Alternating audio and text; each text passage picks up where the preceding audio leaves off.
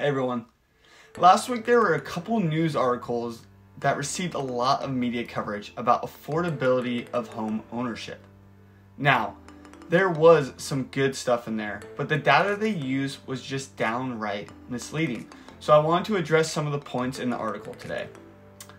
The article says that monthly mortgage payments are up 28% year over year. So if you calculate your principal and interest payments, on their own, yes, the increase in payment is 28%. However, the stats they use don't take into account wage increases in your principal and interest ratio. And that principal and interest ratio is extremely important because that is what we, as lenders, use to calculate your affordability.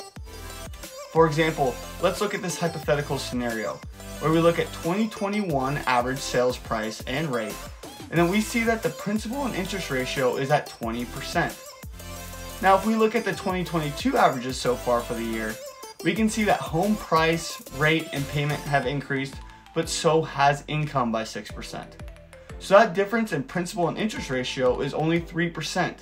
So from an affordability standpoint, not all that different. So if you have any questions on what your affordability looks like, or want any information, give me a call and let's get on track to buy a home this year. Thanks.